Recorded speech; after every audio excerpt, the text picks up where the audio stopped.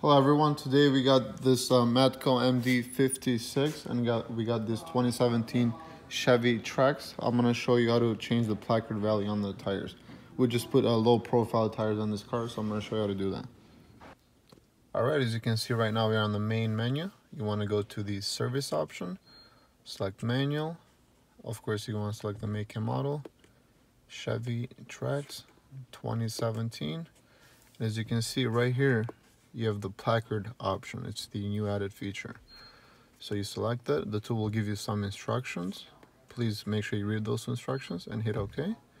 And as you can see now, the tool is uh, prompting, prompting you to connect the module to it. So we're going to go ahead and do that right now.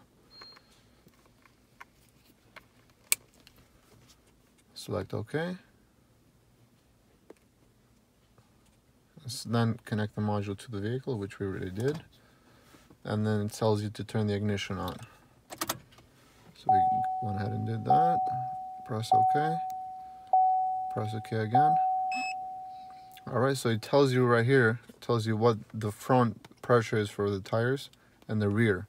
So we go and hit OK. And then this is where you change it. So for this car, for example, we want to change it up to 40 PSI. Hit OK again and then hit the test button to write to the ECU. And then hit OK again. And then we're gonna go ahead and do the same thing for the rear wheels.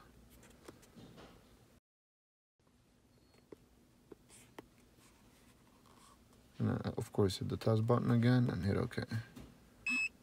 And that's it, that's all you have to do. It's as simple as that.